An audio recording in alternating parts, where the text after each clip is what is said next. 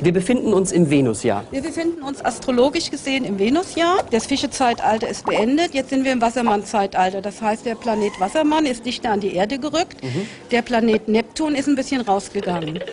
Jetzt sind wir ja im Wassermann-Zeitalter, im Uran uranischen Zeitalter Uranus. Uranus war Christus Kolumbus. Was passiert? Was hat Christus Kolumbus gemacht? Er wollte nach, nach Indien und landet in Amerika oder ja. umgedreht, ich weiß gar nicht mehr. Wissenschaftlich gesehen ist die Schumann-Frequenz hat sich verändert. Also wenn man im Google guckt, auf der wissenschaftlichen Ebene, das Erdenresonanzprinzip, Schumann-Frequenz, der Erde stand bei 7,83. Das andere Bewusstsein ist die 8 Hertz, ist der Alpha-Zustand.